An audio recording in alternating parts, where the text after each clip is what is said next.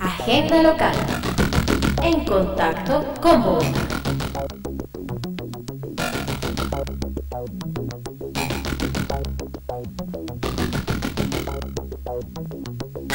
Agenda local.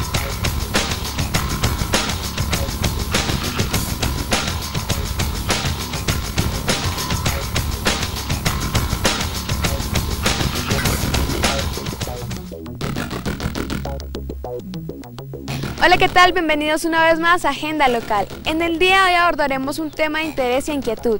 Colombia, siendo uno de los países con mayor biodiversidad, es centro importante para el comercio o tráfico ilegal de animales, convirtiéndose este en la tercera actividad más lucrativa luego del tráfico de armas y drogas.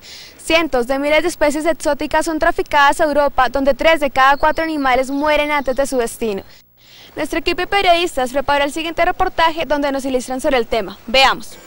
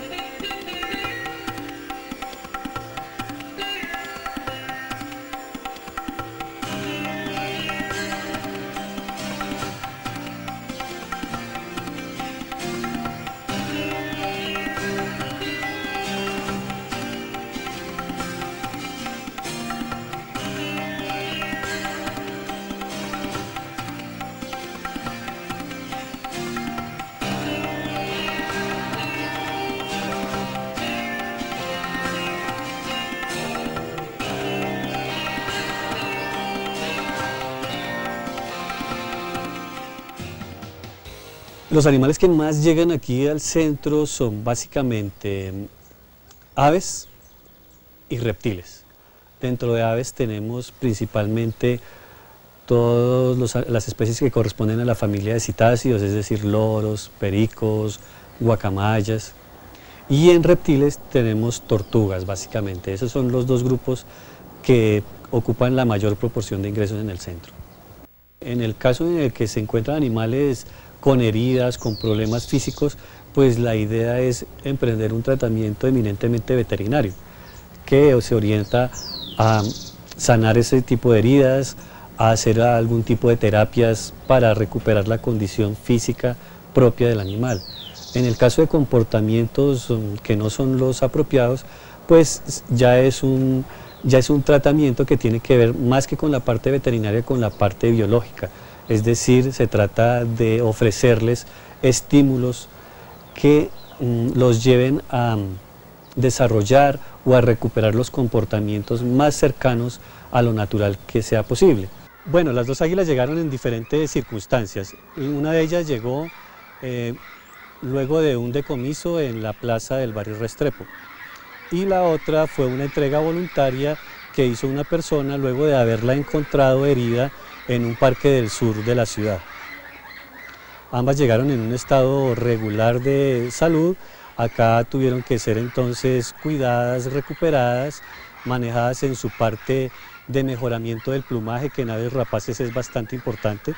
Ellos venían con las plumas traumatizadas, es decir, partidas, de tal manera que fue necesario esperar un tiempo prudencial mientras renovaban el plumaje por plumas ya funcionales que les permitieran desarrollar pues vuelos largos, frecuentes como los que ahora son capaces de hacer.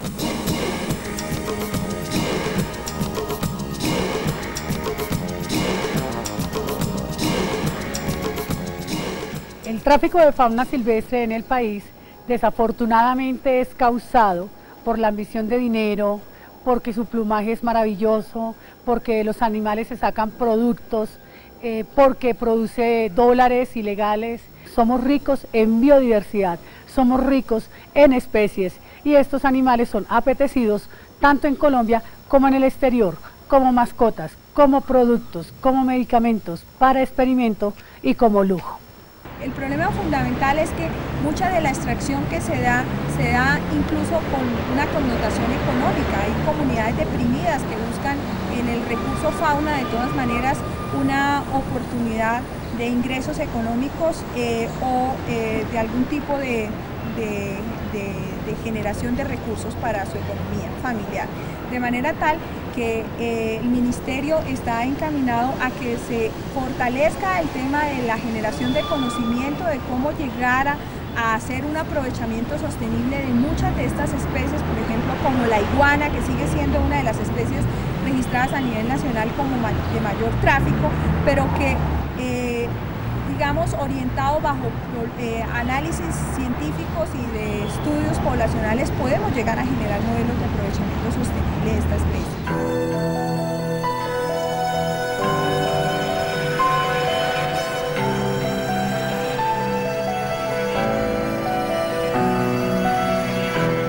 Los tipos de comercio consisten en cuatro. Una es lo que tiene que ver con la moda, como explicaba anteriormente. Por ejemplo, la piel de babilla es muy utilizada para la fabricación y manufactura de bolsos, de botas, de piel, de abrigos, eh, muy útiles para la moda y sobre todo el fashion en Europa. Uno es ese, dos tiene que ver con la experimentación científica es donde sacamos material genético, el recurso de partes, cualquiera de estas especies son muy útiles para tratamientos terapéuticos, para la química, eh, química farmacéutica, eh, para otro tipo de, bebedizos y una cantidad de situaciones que son muy útiles dentro de la medicina eh, alternativa y otro tipo de medicina. De los pets, que son coleccionistas, se pueden destacar la gente o las personas que mantienen la colección de insectos, la gente que le gusta la, coleccionar aves, para mostrarse con esas especies que son exóticas, son muy llamativas, son grandes, pequeñas, de diversos colores y eso lo hacen más atractivos. Y el último tráfico eh, o el último tipo de comercio que consiste en la alimentación exquisita. ¿Qué carajillo? Mucho, mucho lo utilizan para la debilidad, otros para la potencia, para la caída del cabello, para la memoria. A veces la persona repite hasta dos veces en el día. Otra causa por la que puede haber, para la, pues, lo que la gente llamamos comúnmente brujería, para trabajos de amor, de ligar una persona, yo creo que para pues, todo ese tipo de actividades también se piden animales. ¿Qué animales se piden? Más que todo lo piden los primates, piden las dantas por sus manos para la suerte, pieles, culebras para hacer trabajos de, que contra el chisme, que para que la persona la, la enreden. Mire, en la fauna silvestre para una persona es fácil pedir cualquier animal.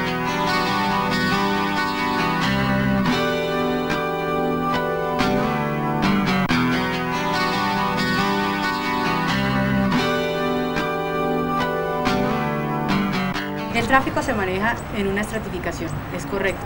Una que tiene que ver con los recolectores, que los recolectores generalmente son o indígenas o colonos o campesinos que venden a muy bajos precios este tipo de material, se lo entregan al transportador, el transportador lo lleva a un cliente primario, el cliente primario lo pasa a un secundario que puede ser nacional y eh, continúa con un cliente internacional y algunas especies y otras que van a, posteriormente al cliente eh, o el beneficiario de, esta, de la especie que estén pidiendo. Generalmente se pueden hacer por internet la solicitud de esas especies, la venta de las mismas. Se puede hacer dentro de tráfico eh, eh, ilegal con, en forma en forma negra, digámoslo así, que es el transporte del, tráfico negro en buques, en zonas marítimas, en, zonas fluviales o por terrestres, pero que es imperceptible de pronto para ciertas autoridades y para la misma población. El modus operandi es, eh, por ejemplo, transportar el material genético en batas o camisas de los investigadores que se encuentran en las zonas de reserva para extraer material eh, genético, sangre o pelos de las especies que necesitan para investigar. Una. Dos, meter dentro del transporte terrestre tubos de PVC y dentro de los tubos de PVC con orificios incluir las aves que necesitan comercializar en el transporte terrestre intermunicipal o interdepartamental.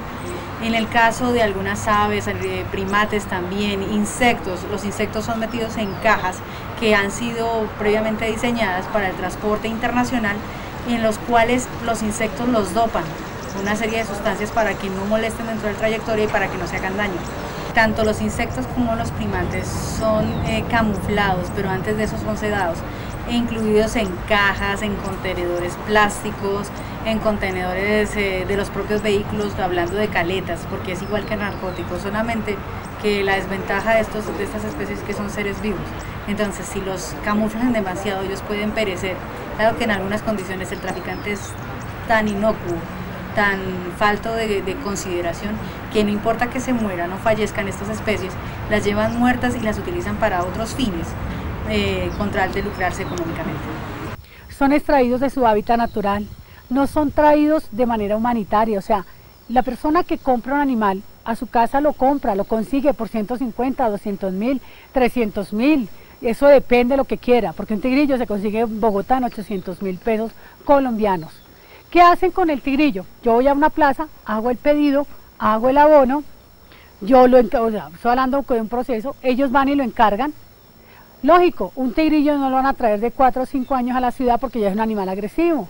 Entonces matan a sus padres para traer, traer al bebé. Entonces, la manera en que los cazan es infrahumana. Son extraídos de su medio natural. Al extraerlos, pues están talando árboles, dañando ecosistemas, haciendo mortandad para que sobrevivan unos nueve animales de 10 que ellos puedan traer o más. De esos es uno o dos que van a sobrevivir.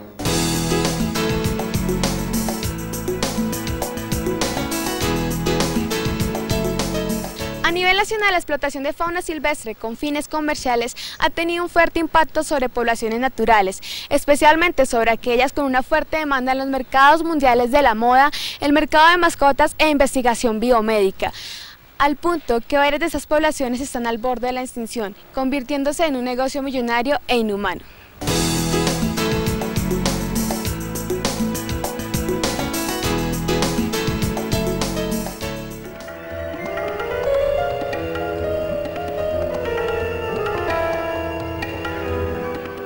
Aquí es insólito lo que llega y llega en unas condiciones de deshidratación, de hipotermia, de desnutrición, animales que están emplumando. Y es triste decirlo, eh, en su bazar un día rifaban un, oso perezoso de tres dedos por 100 pesos. Yo lo tuve, yo vivíamos con él aquí eh, dentro del estómago, se le dio la comida adecuada asesorados por los veterinarios de fauna silvestre y él está en el zoológico de Cali.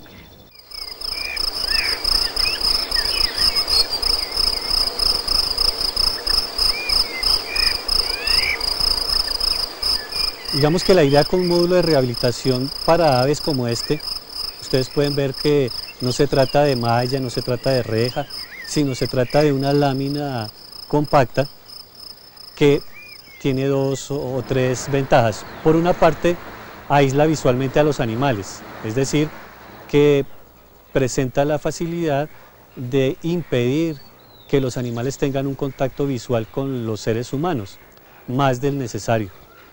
Eso eh, permite que los animales vayan perdiendo la familiaridad, vayan de pronto desarrollando cierto nivel de desconfianza y de distancia con respecto a los seres humanos. Por otra parte, al ser una lámina mm, compacta, impide que los animales, si llegan a estar cerca de las paredes, dañen su plumaje, como si lo harían si se tratara de una malla, porque se puede quedar enredada, se pueden partir las plumas y las plumas eh, son elementos obviamente indispensables para que ellos puedan volar eh, de una manera muy ágil.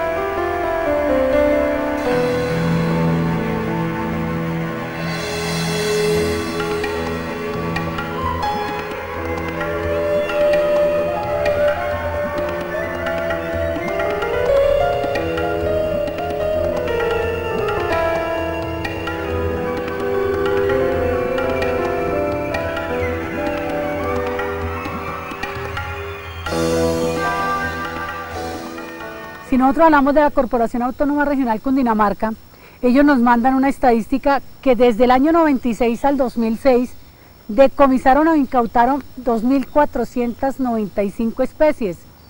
En, tantos años y tan poquitos, y si hablamos del Departamento Administrativo del Medio Ambiente, el DAMA, o la Secretaría del Medio Ambiente, que es ahora su nuevo nombre, imagínense que en el año 2006 solo se decomisaron 1.882 animales. Nuestra pregunta es la siguiente, ¿serán estas cifras, aparte de oficiales, las únicas que existen cuando en Bogotá se consigue lo que quiera? Cuando en la Plaza de Girardot usted compra un flamengo, puede comprar hasta un tigre que no, que no sea colombiano.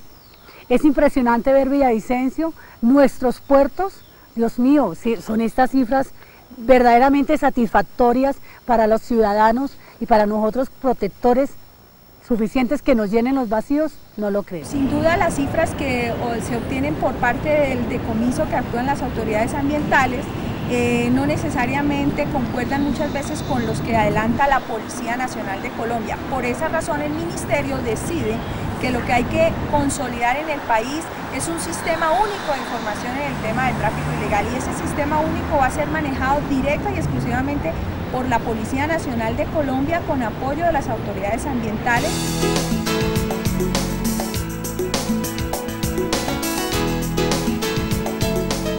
La Policía Ambiental de Bogotá lanzó un nuevo sistema que busca focalizar toda la información sobre la incautación de flora y fauna a nivel distrital y así podrá realizar una evaluación hecha hacia los mecanismos de control utilizadas por estas. Pero a pesar de los esfuerzos hechos por las autoridades, la gente aún no entiende que el tráfico ilegal de animales afecta al ecosistema.